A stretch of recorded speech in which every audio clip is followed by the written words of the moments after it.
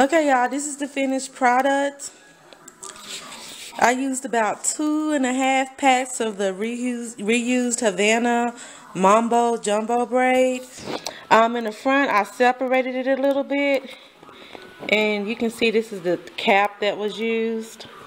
It's really full. And on some of the um, twists where you see it separated right here, like on a larger twist like this or something that was a little bit larger than this, I just broke it apart and just made two sections versus just the one. But you can see it's pretty full. And I just used the netted cap. It came out really cute, but it doesn't fit my face right. I don't know. I don't like it on me. But I think it's so cute.